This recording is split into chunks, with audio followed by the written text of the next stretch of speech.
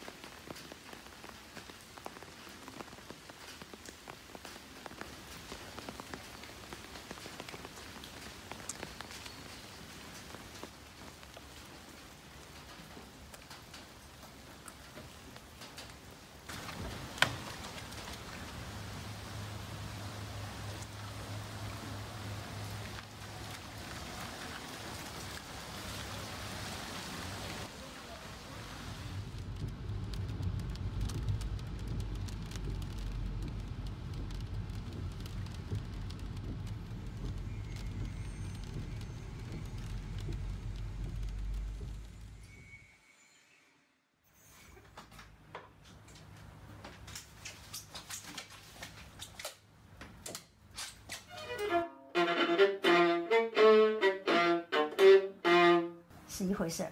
滴答，哎，就是这样子。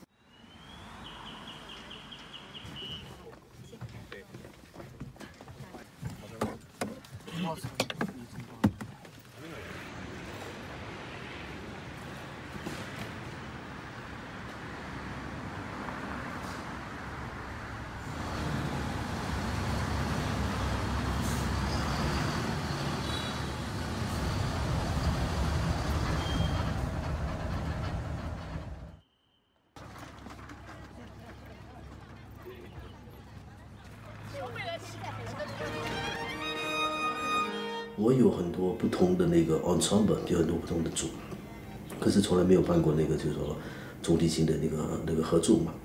来到上海音乐学院的时候呢，我就发觉到应该玩一玩，然后玩呢，当时就跟着那个刘念老师、申林老师，还有当然沈沈老师嘛，就说哎，我们中提琴应该一起玩一下，呈现一下我们是一个大家庭嘛。所以呢，这个中提狂呢，Viva la Viola 呢，就这么一个开始的。Tienen,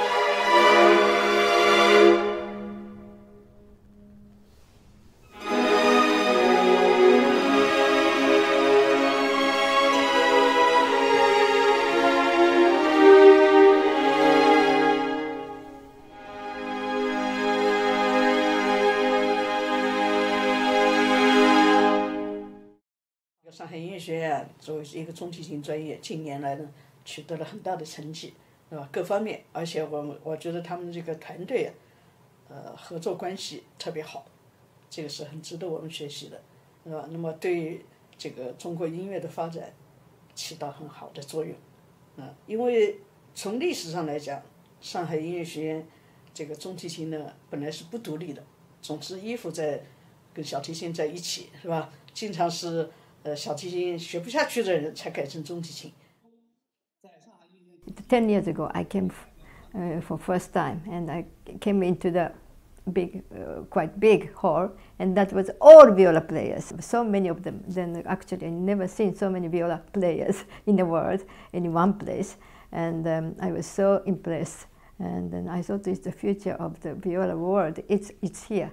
And then 10 years later, I came again, and it's grown again. And those people whom I heard uh, 10 years ago, they are all playing here and there and then studied and then all has a job. Uh, so in a way that uh, development is quite amazing. But uh, anyway, it's, um, when I come here, I get really energy from young people.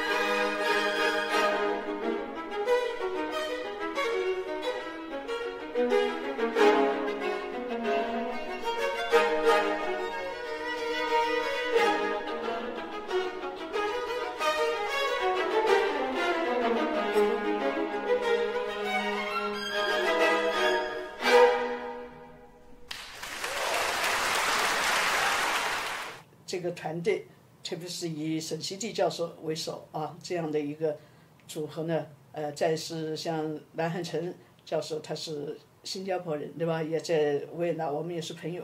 那么这样的组合，再是一些年轻的教师，对吧？刘念，呃，沈丽，他们非常的努力，呃，做了很多的事情。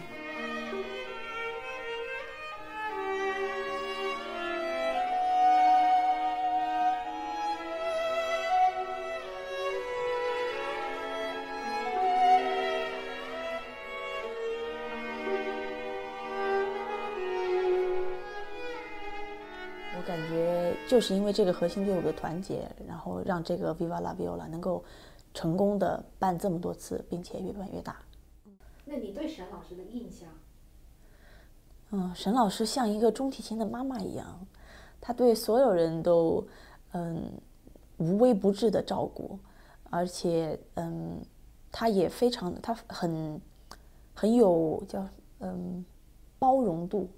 他对不管是从哪里来的，他看到的有才华的，他欣赏的有特质的中提琴演奏者、演奏家、年轻学生，他都很愿意去肯定他们、承认他们。他也愿意从很多不同的老师、不同的学习，嗯，不同的学习方法里面、不同的 school 里面去学习。我看到我们在教课的时候，沈老师就在他说他在串门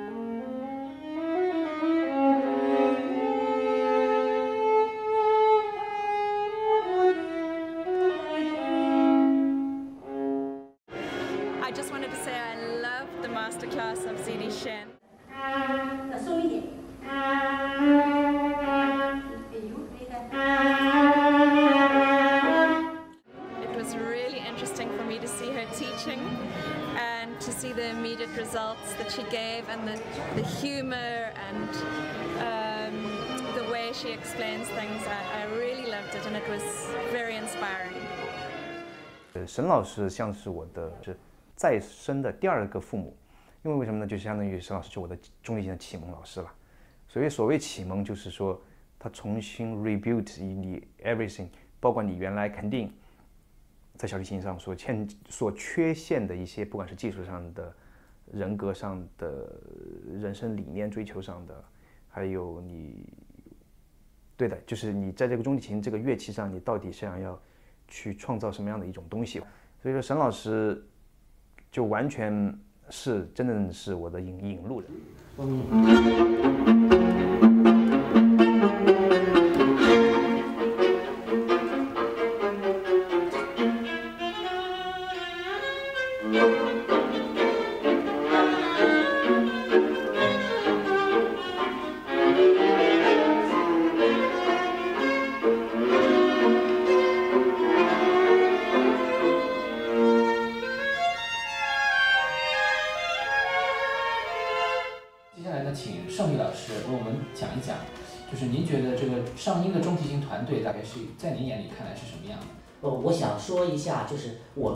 团队，呃，用几个字去去涵盖一下，一个是前沿、奉献、敬业，甚至有些痴狂。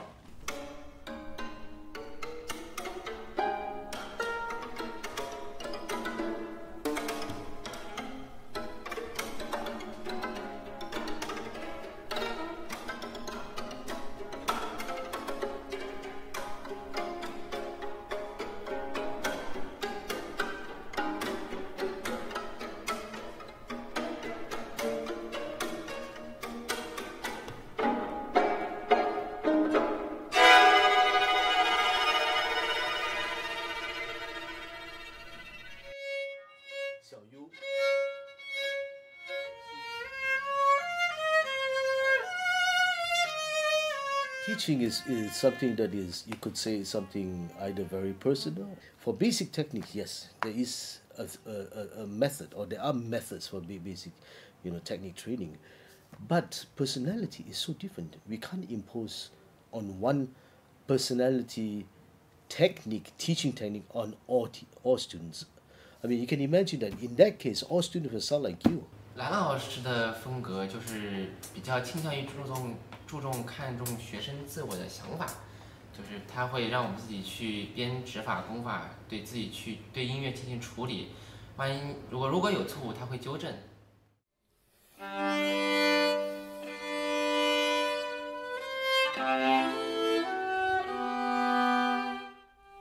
我觉得我的功底还是刘老师打得好，因为我之前就是非常随便的学，但是好就好在我妈一直让我学，没有放弃这个这个这个事情。然后之后转了中提琴，然后碰到了刘念老师，然后我才慢慢的学会怎么拉琴，因为之前都是就是乱拉。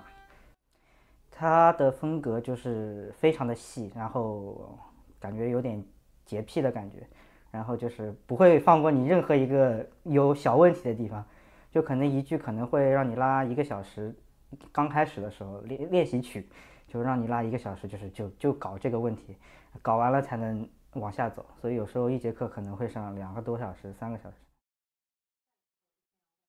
ARD 比赛之前我是差不多要十二个小时，对，十二个小时，因为那个时候在国外音乐节，然后刚好有那个环境可以练习，因为有很多也要去比赛的人也在我旁边一直练琴，所以别人不停，我也不会停。Whenever I come here and I see him, somehow I, I always felt very close to him. And, and he's funny also. And then also I was looking for fourth viola. I wanted to have somebody from China, and then uh, his name came.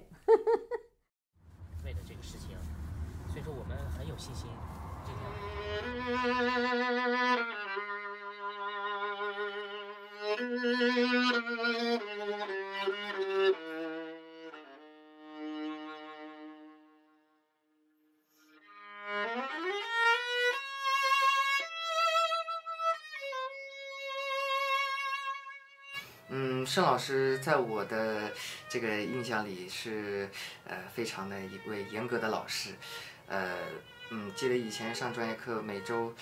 呃，过去回课的时候，心里面都会非常的忐忑，怕自己今年的专业课上的不好。呃呃，怎么说呢？呃，但盛老师也是个非常幽默的人，在课上面，就是在上课的时候，盛老师都会用一些非常有趣和幽默的方法来教导我们在呃专业当中碰到的一些困难。呃，比如他会呃开导我们去去打打篮球。呃，去游游泳，因为在这些的运动的这个呃运动的这个尝试中，会碰到很多和我们拉琴相关的呃很多的问题。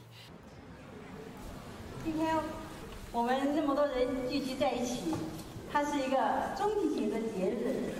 我非常感谢从我们市的领导、我们学校领导、我们系的领导，呃。对中提琴的关关心、关怀和支持，呃，非常感谢我们的嘉宾，这么多世界上一流的中提琴的那个呃教授，嗯，今天我和我们在一起，所以呢，我是对他们表示非常非常的呃感谢，对我们中国中提琴的支持和帮助。另外，我要感谢我们的团队和我们这次组委会的所有的成员，嗯，特别。要感谢和我在一起工作了这么长时间的我们中提琴的四个老师。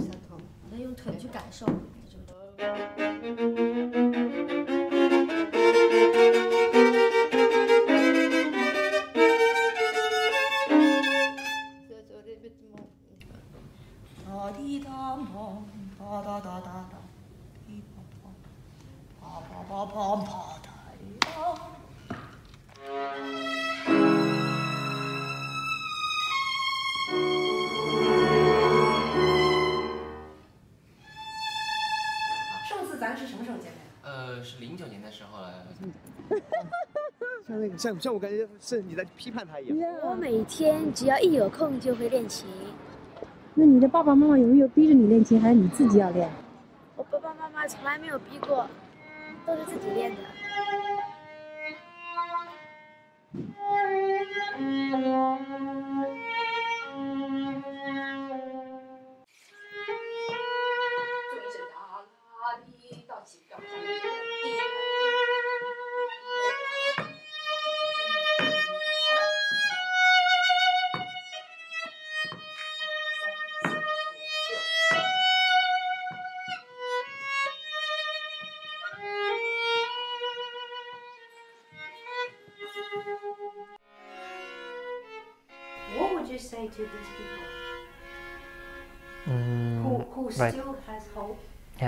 If you really want to become professional musician, then uh, probably you have to have this wish first of all for 120%, and um, yeah, you it has to come from inside. I think, um, like the real talented people who stick out over many years, they um, yeah they had this instinct from from inside to make music to communicate with an audience and also like trying to feel or get in touch what the composer thought back in when he wrote the piece. Um, yeah it is a difficult profession. And yeah you will have to sacrifice many things for it. So you have to love it.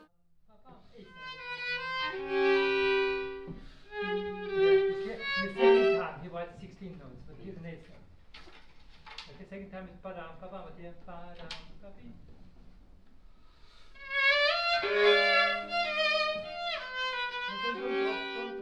You asked me about the difference between European, Middle European, and the Chinese uh, people how they approach music.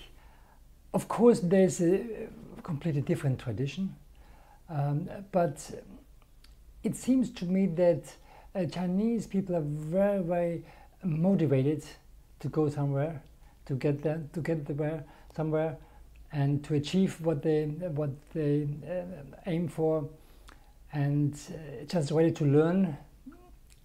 Sometimes I have the feeling they they want too much to get like Europeans or Western style uh, people in culture and everything, because they have such a rich uh, tradition themselves. And um, so, for instance, in my talk yesterday, I mentioned um, how important it is to, to be aware of one's center of gravity, and uh, which was a very natural thing for Asiatic people, Chinese people. And now people often don't know about this. They have become as intellectual as we, and uh, they will be Western people. little trick. 有一个小的秘秘诀， When we listen for fifths, 我们在听五度的时候呢， we listen from down and up. 我们先听低底音， But if we want to get a fifth in tune uh, on, on a string instrument, we're usually too much on the bass side. So ah, think you tune, you tune the bass. Yeah. yeah. So, so it's better to start on the if you're playing on the D A, uh -huh. place your finger closer to the top string.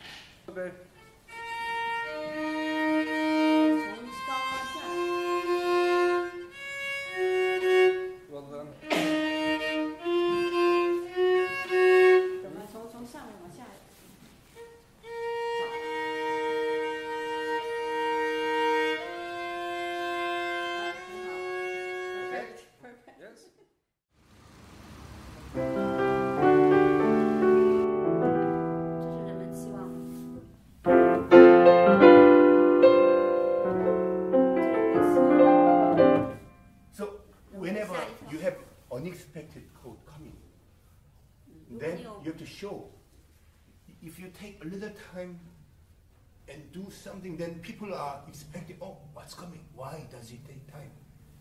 And then you do this, then. Ah, I see. Okay?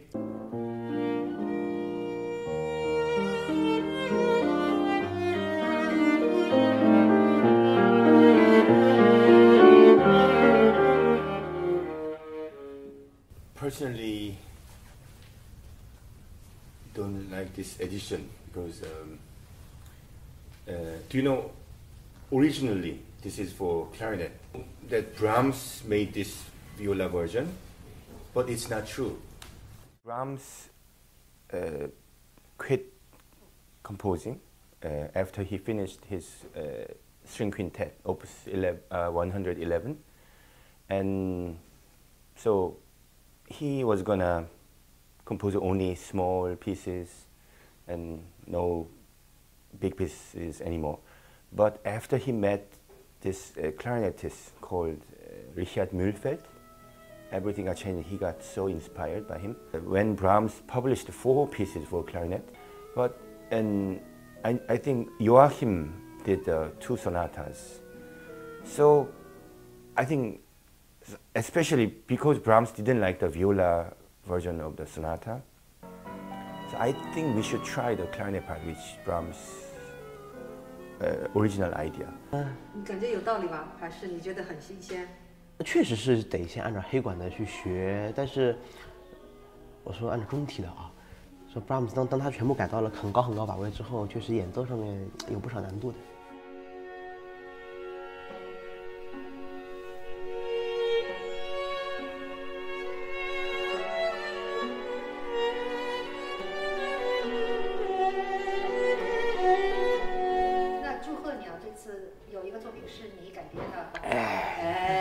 巴托克写的好呀，而且版那个改编的版本也很多，有小提独奏的、钢琴的，也有乐队的，都都要参考一下。然后加上刘老师也给建议啊，和一些元素加进去，好玩嘛？写那么枯燥干嘛？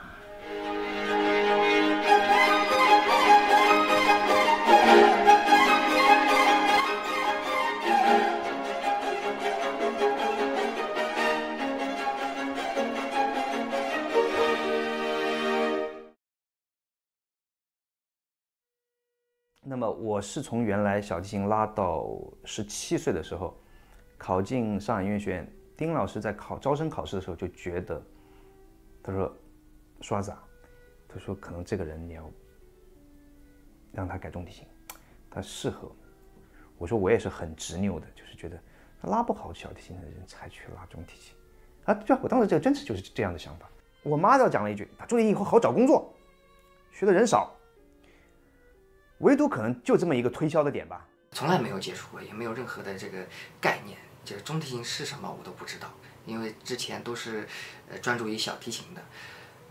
然后在音乐厅里，当我听到中提琴第第一个声音出来的时候啊，我就吸引住了，对，就特别的，就是我喜欢的那个声音。Me and my sisters had we played violin when we were small, and I absolutely hated it.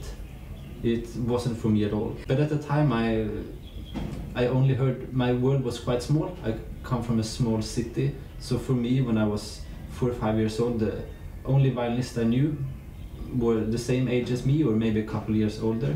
So I thought that violin was the problem. So I quit it and started playing guitar. But then when I was 17, I started to play viola, and at that time we were only three pe- three persons playing viola in my town, so we couldn't decide who which two should sit in front and which one should sit in the back. So we, the solution was that we set three viola players in the front, so nobody would be left out. Well, when I was 15, I kind of just grew a lot, and the violin became smaller and smaller in my hands. so uh, first, it was actually my teacher who thought like it would be a brilliant idea. Please go to this competition. We have this big national German competition for children, and first year you go there as violist because it's much easier, and the next year you go there as a violin and you win everything. And uh, well. I started with the plan. I played the viola. I, I got the prize, but um, yeah, I love the instrument, so I never actually uh, took the violin anymore. I mean, uh, I, I switched to viola, and two weeks later, I, the violin got closed in the case, and ever since it has been there. Well, I started to study violin at an age of six. And when I was 15 years old, I had to play one year viola as a second subject to get used to the, to the key and then the clef and, and uh, the instrument because there was always a shortage of violists at this time. And I fell in love with it right away. I will never forget when I first um, got the instrument from the school, which was a very poor instrument, but the touch of the C string, I will never forget. And it was love at first sight. Yes, I started playing when I was six, violin. and then I changed to viola when I was 21. And then I heard first time the, the solo viola sound from the orchestra in the big hall and oh, this is the viola sound. It's so expressive, it's so touching and beautiful. And I want to change to, from violin to uh, viola. And then I decided to change on that day.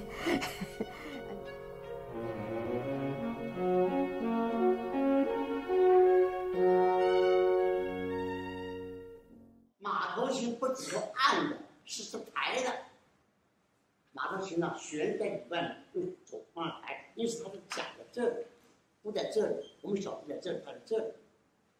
所以马头琴快非常的，因为它要向上，不往下。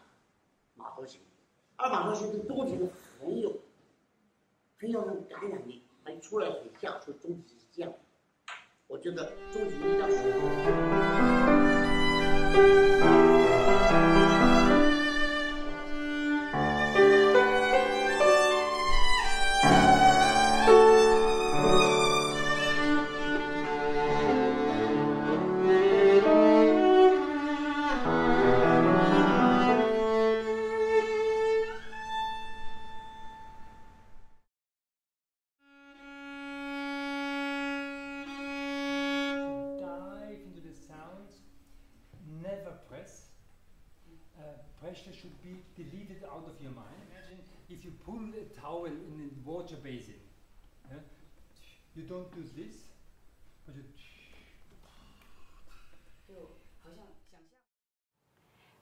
的中提琴艺术节，我们都要请作曲家们委乐、改编或者创作中提琴合奏的作品。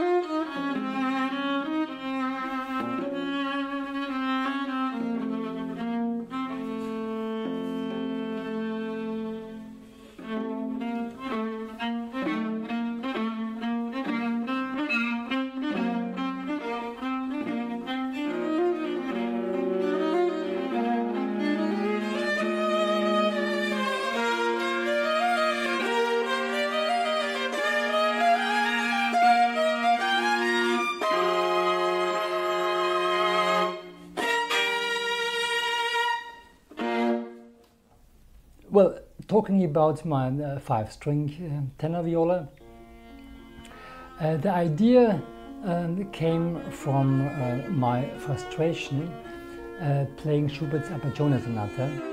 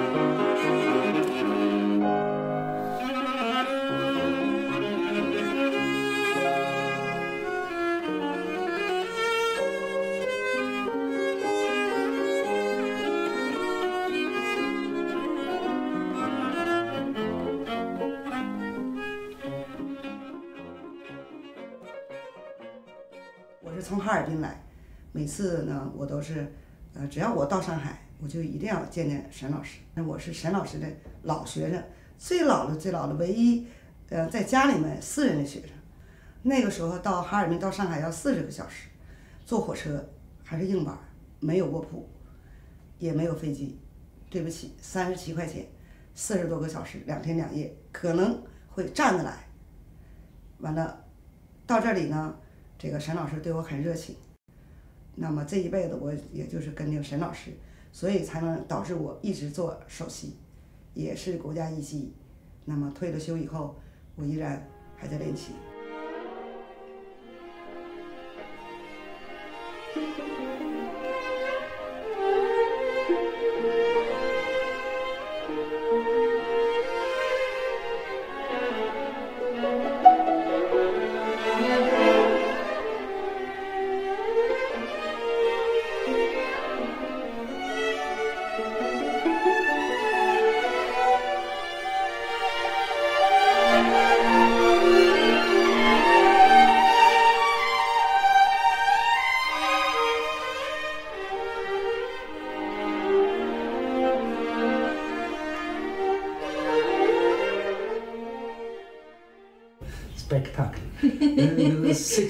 60 violists on stage. Yeah. And uh, amazingly together without a conductor. I don't see how they did that. But um, th- that was saved for the showing the sheer size. Uh, and yesterday was um, showing a lot of individual uh, quality and high level. So, I mean, th- th- that's what this festival really is about, both about volume and quality. 对我们而言， 这样的工作实际上已经变成了某种习惯。到了两年、三年就必须来做一趟。那么可能在做之前，你的最大挑战是说你要去对比前面几届，你得有新意，如何去创新。This year, I have to say, firstly, there are much more people participating and much more people coming. So it's like, you know, 1250 or something. That's a lot of people for violas. And I mean, the highlight was, in fact, all the concerts were highlight. I would say maybe more the interaction between different people, uh, new people coming, you know, from other conservatories, from other cities that I've never seen them. They have never pa- came before. You know, talk to me with a big smile, and, and, and I think that this is this is the purpose of it. 基本上来听音乐会的人，不管是不是搞音乐的，是不是专业的，都很振奋，因为他从来没有听见过，没看见过 那么庞大的中提琴的队伍一起在台上拉拉。还有几个人听了以后就说：“哎，他怎么会拉得这么整齐呀、这没有指挥，这个怎么那么整齐、而且有时候慢，有时候快的这个节奏也不一样，有时候，呃，这个就是训练的这个成绩就就出来了。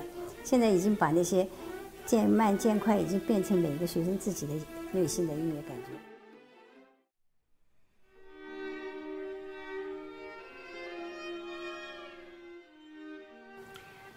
几年我们做的另外一件事情呢，就是我们编了一部教材，这也第一本呢叫《中提琴学习基础训练教程》，另外一本呢叫《中提琴进阶训练教程》。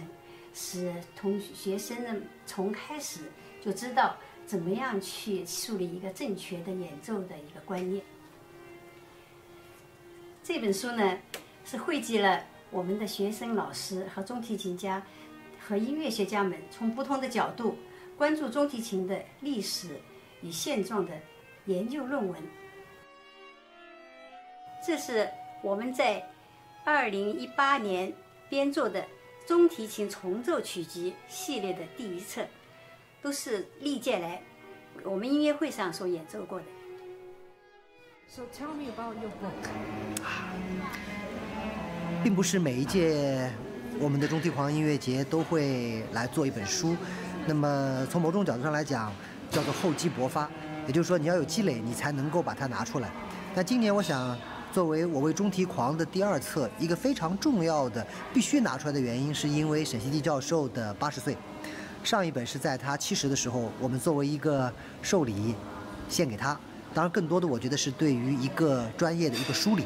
实际上，并不见得只是说为了一个人的七十岁我们去做这样一件事儿，而是为了整个中提琴在中国所有的这些的发展。那么十年过去，我想成绩都看到了。那么今年这本文集更多的。也许是研究部分，当然我们也在前面加了一些照片。我想，对于很多初次接触到这样活动的人，看到这些照片，他会更加有一种鲜活的感觉。你们到底在做什么？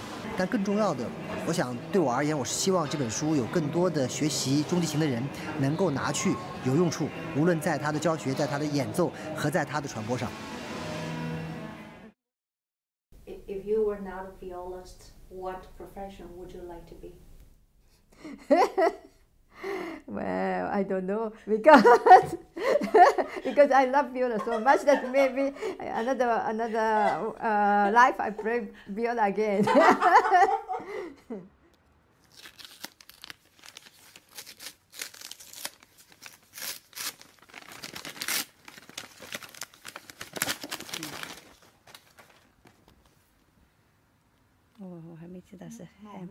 吃了啊。珍贵的，我把它保留起来。他说：“谢谢你。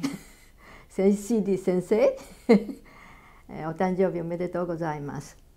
Happy birthday to my dear teacher, my mentor, Professor Sen. 沈老师生日快乐！祝沈老师生日快乐！ Dear Shidi, alles Gute zum Geburtstag. 沈老师，祝您八十大寿，永远青春。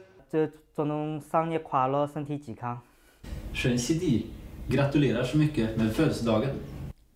祝沈老师生日快乐！ Gratulerer med dagen, Shidi. 生日快乐！I love you. 아, 션시디 교수님 생신 축하드립니다. 앞으로 계속 건강하게. Cumpleaños feliz. 祝中提琴的沈教授能够永远年轻，祝妈妈能够 啊不不，不不不。